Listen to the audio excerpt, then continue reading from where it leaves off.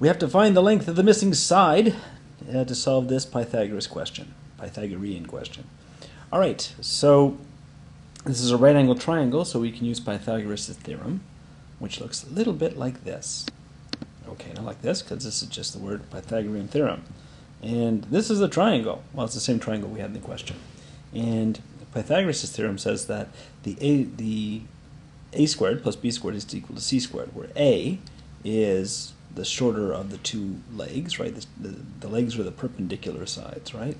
And b is the longer of the two legs. And by the way, the a and b really interchangeable. They really don't, you know, like you can call a the longer and b the shorter. It doesn't really matter of the two legs. But I like to call a the smaller one and b the, the you know the longer of the two legs, but the you know the middle of the three sides. And C is the longest of all three sides, and this is the hypotenuse. It's always right across, directly opposite the right angle, and it's the longest side. Okay. So I always think of it as the hippopotamus because the hippopotamus is really big and and it's opposite of a 90 degree angle. No, that doesn't make sense. But hippopotamuses are big and hypotenuses are big. There you are. Okay, so a squared plus b squared equals c squared. And this is our a, which is 168, and our b is 425, and our c is unknown. That's why we have this equation. Okay, so 168 squared plus 425 squared is equal to c squared. So we just have to use our calculators at this point.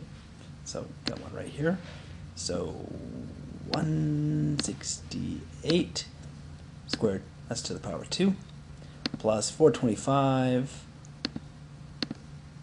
to the power of 2 is equal to, well, that's a big number, but that's c squared, right? Okay, so what we, like, once, once we know that c squared is that, to figure out c, we're just going to take the square root. Okay, so c is going to be the square root of that number, and then, so back to the calculator, and square root. There we go, 457. So c is 457.